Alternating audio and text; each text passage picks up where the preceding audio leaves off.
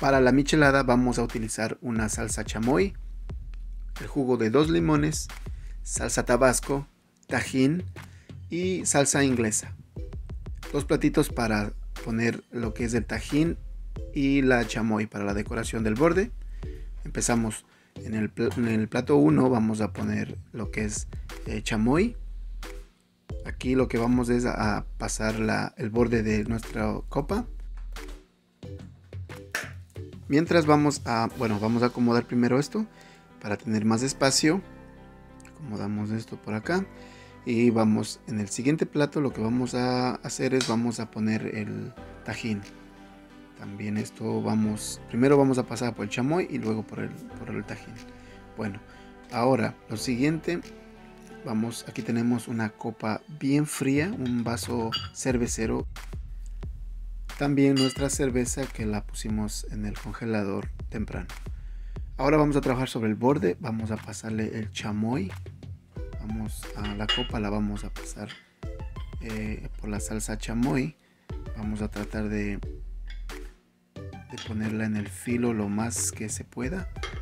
Tratamos de poner una, una buena cantidad de chamoy para que así el tajín se nos pegue muy bien, se adhiera muy bien al filo de la copa. Y esto nos va a servir para decoración también al momento que te tomas el que disfrutas de tu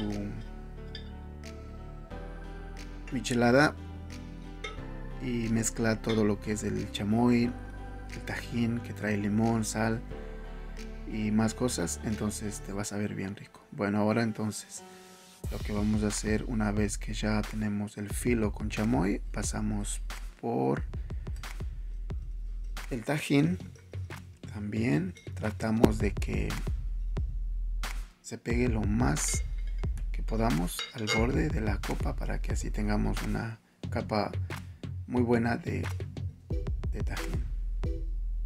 Bueno, una vez que ya tenemos el filo listo, la, el borde de la copa lista, es momento de empezar con los ingredientes que vamos a poner como un poquito menos de media onza de, de salsa inglesa la misma cantidad de tabasco yo lo estoy poniendo a mi gusto ahora cuando tú prepares tu michelada tú puedes ponerle la cantidad que tú prefieras.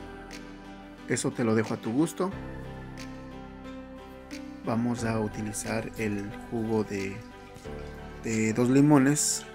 Vamos a exprimirlos directamente a nuestra copa.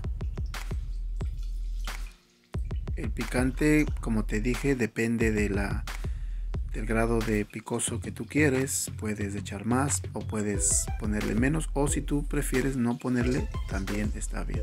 No hay ningún eh, problema con eso. Todo depende si te gusta el picante o no.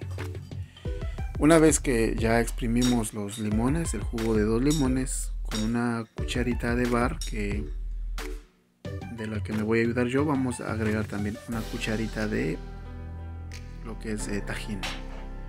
También vamos a utilizar, podemos decir una pizca de sal o, con una cucharita tú agarras un poquito y también agregamos sal. La misma cuchara de bar nos vamos a ayudar para mezclar un poco todos los ingredientes para que se mezclen. Y ahora viene la protagonista de este video.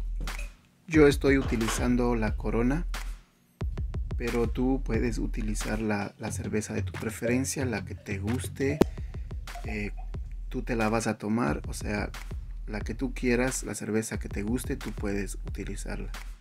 Como el vaso que yo estoy utilizando es grande, entonces me toca terminar de rellenar con, con otra cerveza más.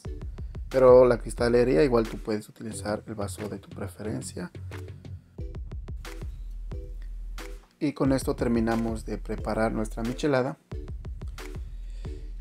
Bueno amigos, como siempre, gracias por ver el video. Gracias a los nuevos personas que se están ah, agregando al canal. Gracias por mirar los videos. Gracias a todas las personas que me están apoyando. Y les presento a la michelada. Como siempre amigos, cualquier comentario, cualquier sugerencia, algo que tú quieras añadir, cómo tú lo preparas, abajo la caja de comentarios están abiertas para ti. Y nos vemos en el siguiente. Gracias y cuéntame si lo preparaste y si te gustó.